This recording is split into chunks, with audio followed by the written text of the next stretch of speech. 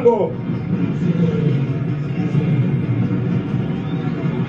anafunga bao lake la kwanza akiwa na kikosi cha Azam FC, mpira ambao aliopokea kutoka kwa Nathaniel Chilambo, akamwambia Andrew Vincent tulia, akampunguza na mwingine tena, kabla ya kwenda kupasia lango likiwa tupu. Ameshona na kudalizi akiwa yeye mwenyewe Nasol Sadun, zigzag maestro, kabla ya kwenda kuweka mpira.